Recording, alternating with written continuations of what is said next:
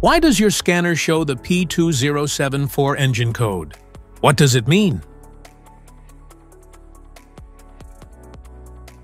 P2074 is a diagnostic trouble code for MAP or MAF throttle position, correlation, and higher load.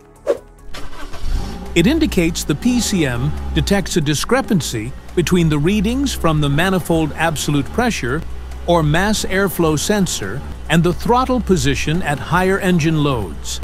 Under this circumstance, stop driving and repair your vehicle immediately.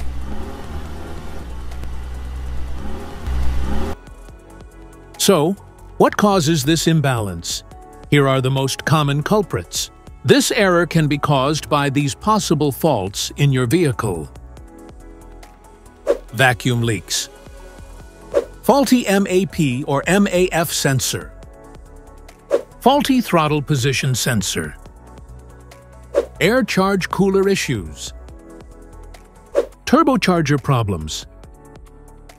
Crankcase vent system issues. Wiring issues. Each DTC code corresponds to a specific issue in your vehicle. This error occurs in OBD2 equipped vehicles, especially those manufactured since 1996. It is commonly found in Ford, Citroën, Peugeot, Jeep, and Dodge. If you want to fix this error code, let us know in the comments section. We will definitely make the video on your demand. If you like this video, don't forget to subscribe to our channel. Thanks for watching.